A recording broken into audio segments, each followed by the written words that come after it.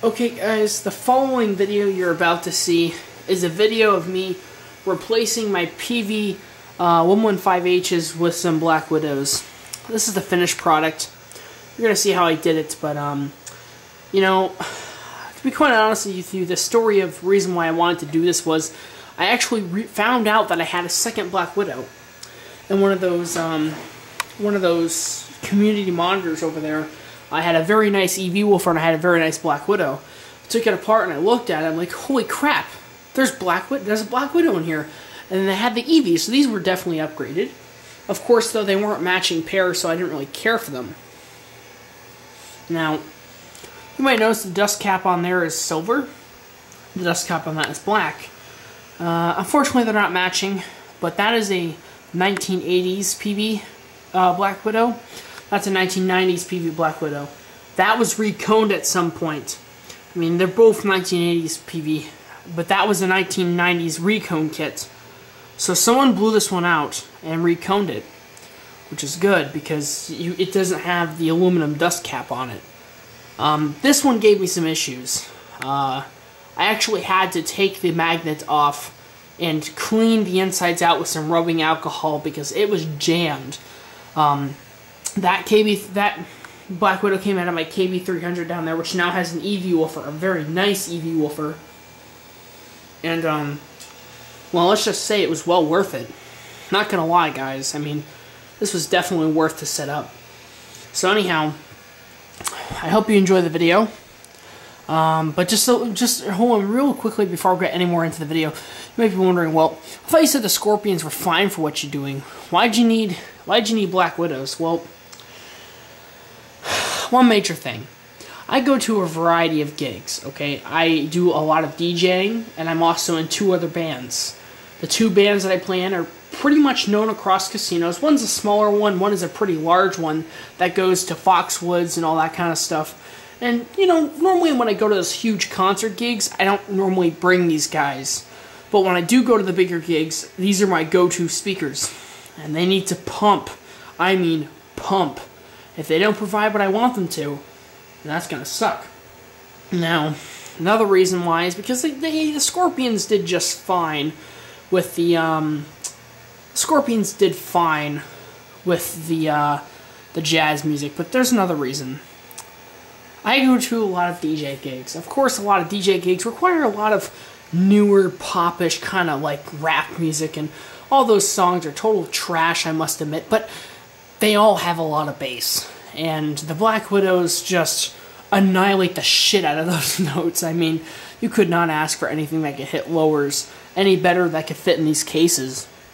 And quite frankly, I think the upgrade was right, good, I see, definitely worth it.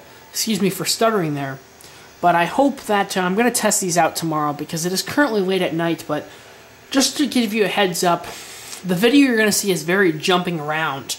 Uh, mainly because I was kind of in the middle of swapping woofers between all these sets. Like I put the Scorpions in those guys. Those are some 15 stage monitors and I figured, you know, I had no idea why those have such overpowered woofers in them, but they really shouldn't if they're just going to be for vocals. So I put the Scorpions in there. I put the really nice EV woofer in the KB300, and I put the Black Widows and the PV115Hs. And quite frankly, I'm very satisfied with the configuration I've just consumed, and I think it'll do me just well.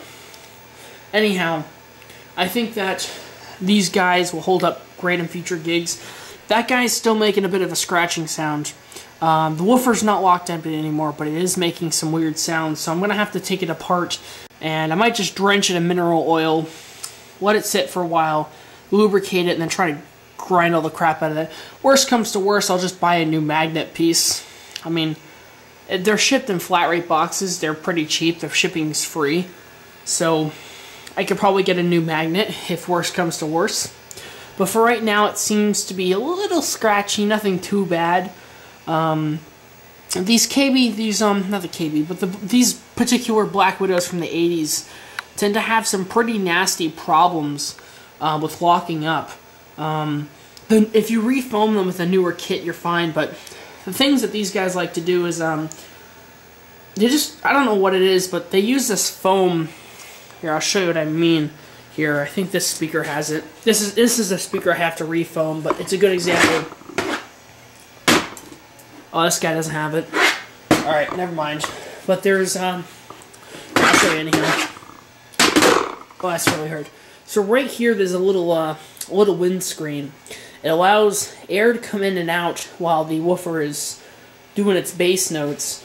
Um, so it doesn't, you know, it sounds good. Um, and they PV use this foam to help uh, insulate it and to help um, prevent garbage from getting in there.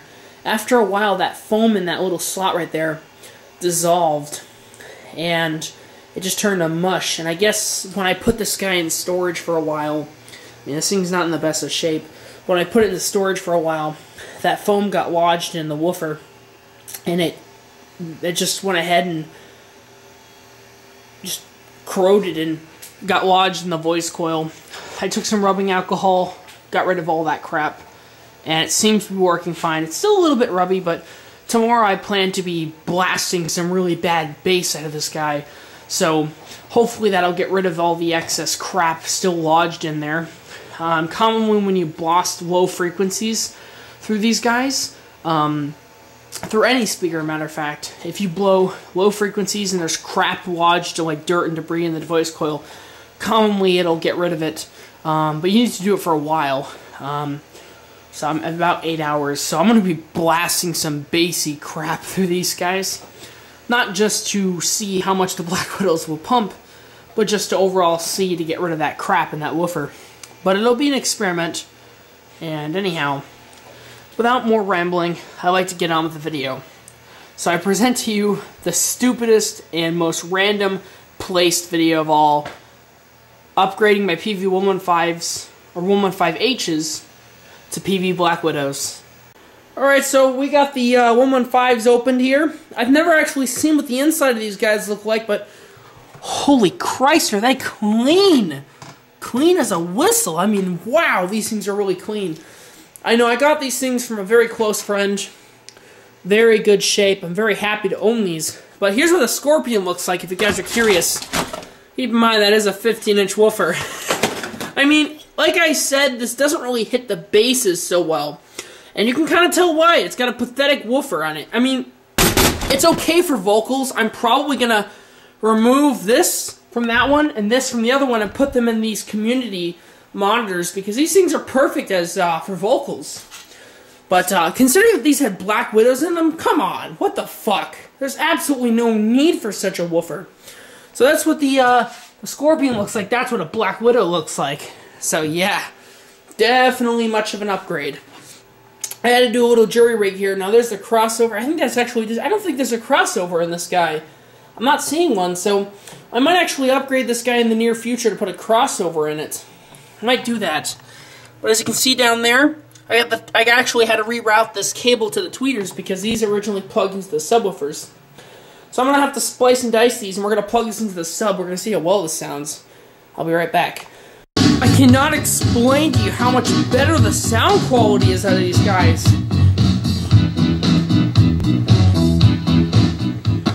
Keep in mind, this is the fixed woofer, and uh, wow, is that an upgrade. Holy crap. These sound 15 times better than they did before. I mean, holy crap, do they really have improved in sound quality. So I'm definitely very proud of this guy. So I'm going to go ahead and upgrade the other one. I got to take the other one out of there. So let's get started on that, shall we?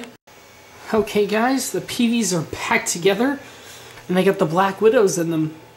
I'm not going to lie, I'm not going to test the audio yet because my grandma is asleep, and it is currently 11 o'clock at night. But um, tomorrow morning I'll jam these things out. I'll probably do a new test video of what they sound like. Uh, blasting a song called Turbo Tranny, which is a song that one of Poo Poo Garrett's uh, friends made. Uh, I don't know his exact YouTube channel, but he, it's a really good song for sweeping frequencies. Um, a lot of people might think, oh, it's a bass test song. Well, not necessarily. Um, it has a lot of high frequencies as well as a lot of low frequencies. And we'll be able to test how much these things can pump. Because when I took these things apart and looked at the Scorpions, keep in mind this is the first time I ever took these things apart. Um, the Scorpions looked really cheap. I mean, I know they were PVs. I guess they were PV, which kind of cut back on them. But the Black Widows, oh, they're worth it. I mean, the speakers did gain an extra 40 pounds. not, just saying, you know. But it was definitely worth it, considering that the sound quality of these are just going to be so kick ass. This particular Black Widow might actually replace. Um, I did fix it. I did get it working again. Unfortunately, though, there is a slight essence of rubbing, so what I might do is I might actually do the old-fashioned way of clearing out these speakers and play like a 60 hertz hum at full blast on this guy and see if that helps clean out the voice coil resonance. But it's no longer locked up. It's just got some more crap in there. I didn't get all of it out. And worst comes to worst, I'll take it apart and I'll clean the crap out some more. But yeah, I, am kind of surprised how cheap those tweeters are. I mean, the tweeters are pretty cheap.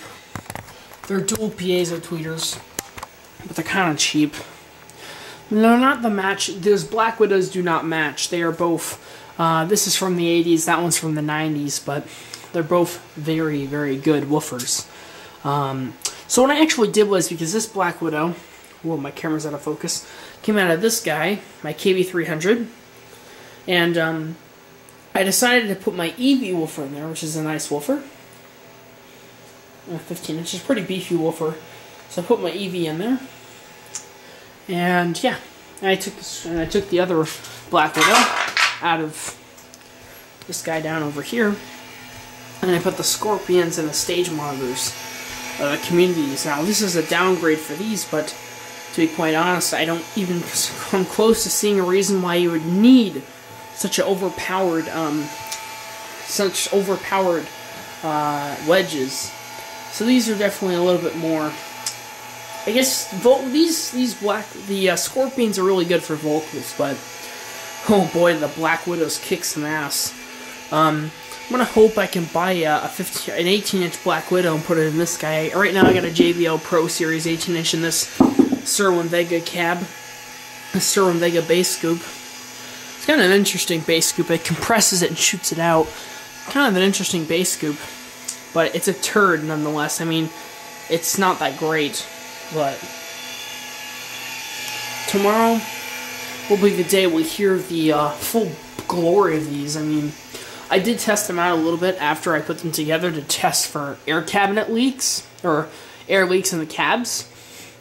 I found no air leaks in them, and I'm not gonna lie, they sound pretty damn good. I mean, holy crap.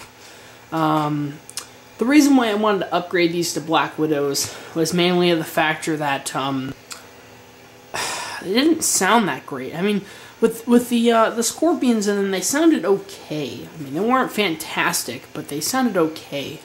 Um, I definitely think the Black Widows were well worth the upgrades because, um, you know, the Scorpions were good, and these, I mean, they were good for playing rock music and kind of mid-range-ish, but. I mean, compared to all the gigs that I'm going to, I'm going to a variety of gigs. Some of them require a lot of jazz. For my both my bands play jazz, and some of them at the DJ gigs that I go to require a lot of bass. And I'm sick and tired of lugging this hunk of crap around. This is my KB300. And the KB300 is a little heavy. I mean, it's very heavy. So I figured, you know what? I would upgrade these woofers, see how they perform, and holy shit, did they perform nice. I even uh, I even took the Black Widow equipped logo off of there and I stuck it on here. Just, uh, you know, show it off a little. I actually bought two of these on eBay, so they should be arriving soon. I'll go ahead and stick one on there.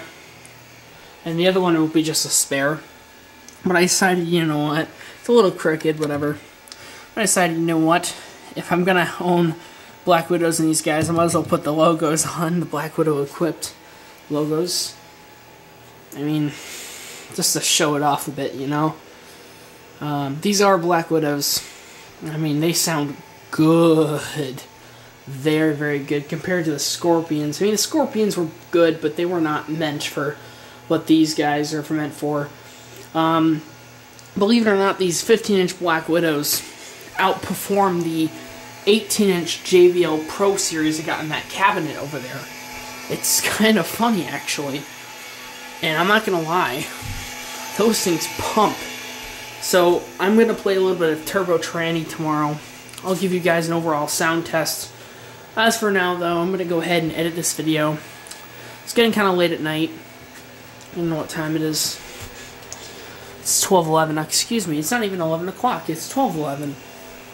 So yeah, it's 12 o'clock. I didn't know. So yeah, I'm gonna go ahead and end the video. I'll see you guys later. Thank you for watching. Comment, rate, and subscribe. I'm sorry that this video was very jumpy. I was kind of all over the place. Thank you for watching. Comment, rate, and subscribe, and I'll see you guys later. And uh, I think I might have to go ahead and drench it with mineral oil and lubricate it and see if I can... Oh my fucking god, I just dropped a $300 fucking XLR mic. Oh my god. Oh, I hate myself. This is my best mic I own. Oh, I better be okay. It's a Sennheiser, so it should be should be built pretty good. Oh my god. Wow. I hope that still works. I'm gonna kill myself if it doesn't. Holy shit. I was uh, screwing around with this thing and I flipped it off. Well, that's gonna be a blooper.